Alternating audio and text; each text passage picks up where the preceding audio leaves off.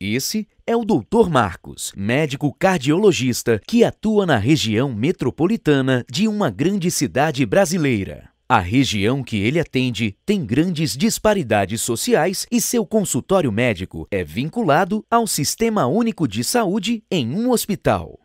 No seu cotidiano, Dr. Marcos atende uma população com baixa renda e escolaridade. A hipertensão arterial é uma patologia frequente no dia a dia do seu consultório e uma constante preocupação de saúde.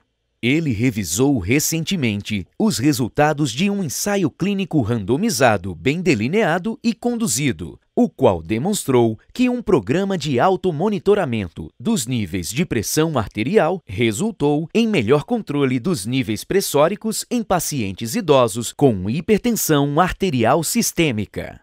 O estudo foi realizado em um país europeu, em que a média de anos de escolaridade dos participantes era de 16 anos e a média de renda mensal familiar era de 7 mil euros.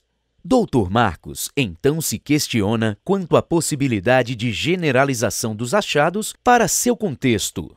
O estudo está bem delineado e o risco de viés é baixo, não restando dúvidas quanto à sua validade interna para a população europeia estudada. No entanto, ele se questiona se a validade externa, ou seja, a aplicação dos resultados no seu contexto, pode ser utilizada. Mas será que os pacientes de Marcos teriam acesso a equipamento para automonitoramento da pressão arterial? Será que o manejo do dispositivo de aferição da pressão seria factível para seus pacientes?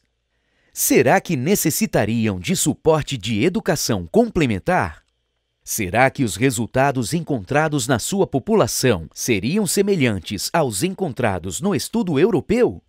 Ao realizar estes questionamentos, o médico brasileiro está avaliando a validade externa dos resultados.